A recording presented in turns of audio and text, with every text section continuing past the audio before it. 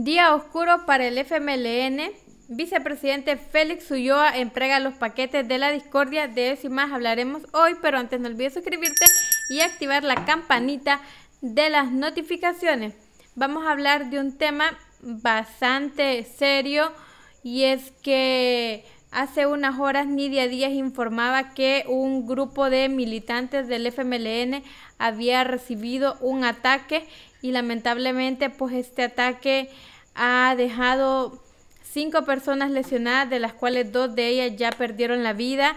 Así es como la dirigente del FMLN informaba. Acaban de atacar un vehículo que venía de caravana del FMLN en pleno centro de San Salvador lesionando a cinco compañeros que se encuentran ya en el hospital Rosales. Impunemente el agresor atravesó un carro bajándose con la pistola en mano y empezó a disparar. Ese es el odio que fomenta Bukele, añadió. Me informan que de los cinco lesionados, uno falleció. Exigimos a la fiscalía que investigue el hecho.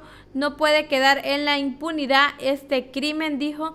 Y además compartió fotografías de pues cómo quedó ese vehículo no se las comparto por cuestiones de política de, de esa plataforma, pero aquí hay una de las fotografías de cómo quedó, donde fueron los impactos. Y como les decía, cuando fue ese comunicado, ella decía que había una víctima mortal, pero ya se ha informado de una segunda víctima. Ella le echa la culpa al presidente Bukele y pues el presidente Bukele ya ha reaccionado ante esto. Lo que yo personalmente les puedo decir es que el fanatismo no justifica eso. Realmente yo espero que quien haya cometido ese crimen lo pague independientemente si fue del mismo partido, porque hay quienes están hablando de un autoatentado si fue de Nuevas Ideas, si fue de Arena, si fue del PS, quien sea o, que no tenga nada que ver con, la política, pues quien sea tiene que, que pagar por ese crimen. Y esa ha sido la reacción del presidente Bukele. Parece que los partidos moribundos han puesto en marcha su último plan. Qué desesperación por no perder sus privilegios y su corrupción. Pensé que no podían caer más bajo, pero cayeron. Es increíble el poco valor que le dan a la vida humana. Es más, el bien más preciado, es el bien más preciado que tenemos en este mundo. Este gobierno ha luchado por defender la vida, pero parece que hay quienes quieren aferrarse al pasado de muerte. Nuestro pueblo ya no quiere sufrir. Y además le exigió a la Policía Nacional Civil que pues dé con los responsables. La Policía Nacional Civil ya está en la búsqueda de los responsables y caerá todo el peso de la ley sobre ellos, añadió el presidente Bukele. Así que al igual que como él condena esto, si fue un autoatentado, si fue un fanático de cualquier otro partido, se condena ese hecho y le pedimos a la policía, a la fiscalía que resuelva ese crimen. La vida se valora y no por cualquier motivo, tintes políticos, rencial, o sea, no estamos para permitir esos hechos de violencia. A mí me encanta hacer los videos y decirle, hoy el presidente Bukele anunció cero homicidio.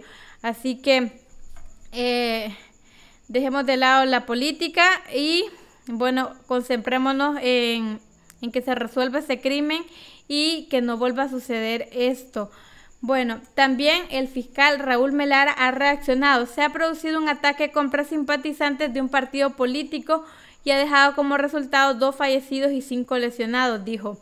Esto es grave, la contienda electoral no puede convertirse en un baño de sangre.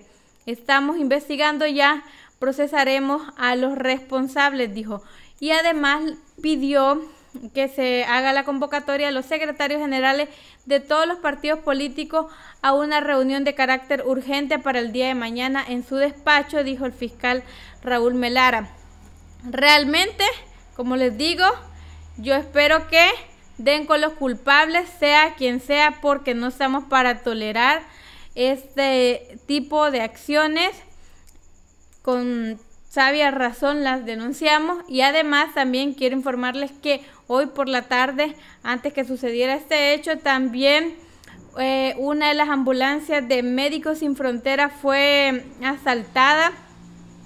En Ilopango, tres miembros de la ONG fueron agredidos y lesionados, pero pues afortunadamente en este caso pues no hay víctimas mortales, así que hay que, hay que estar pendiente que si estos hechos tienen que ver con la contienda electoral, si hay desesperación de parte de algunos políticos, querer dejar mal el plan control territorial o, o, si realmente fue, no sé, algún fanático, como sea, eso es labor de la fiscalía, labor de la policía, así que esperamos que esas instituciones cumplan porque ya El Salvador ha derramado mucha sangre como para seguir eh, con ese tipo de noticias.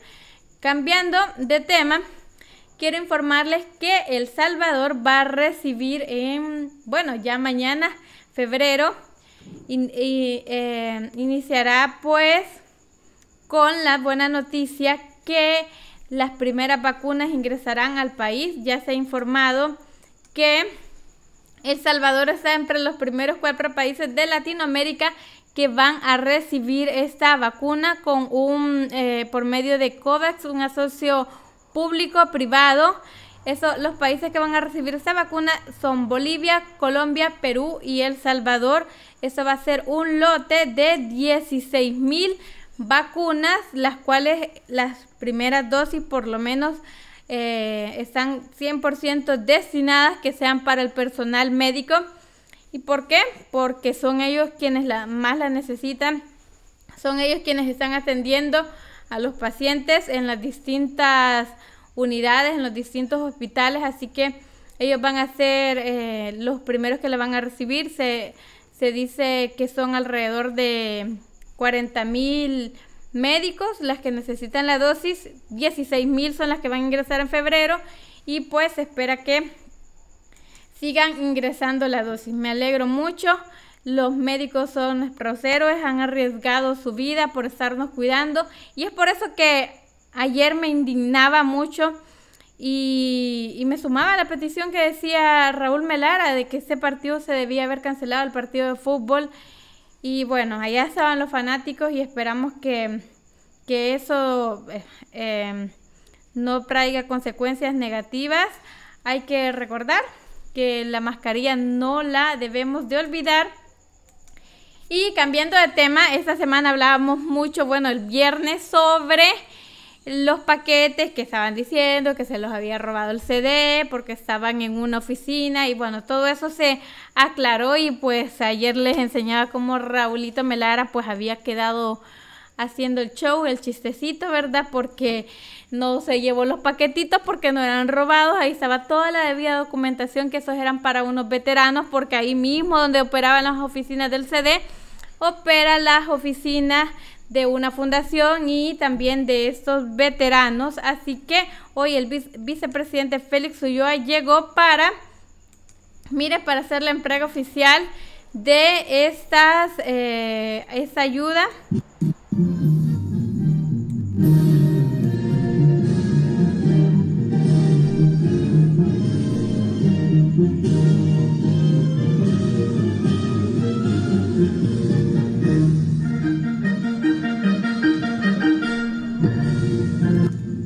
Bueno, y ahí ven el evento, como ven, a la luz del día con el vicepresidente de la República. Nada que esconder, Raúl Melara no se llevó nada porque todo era legal.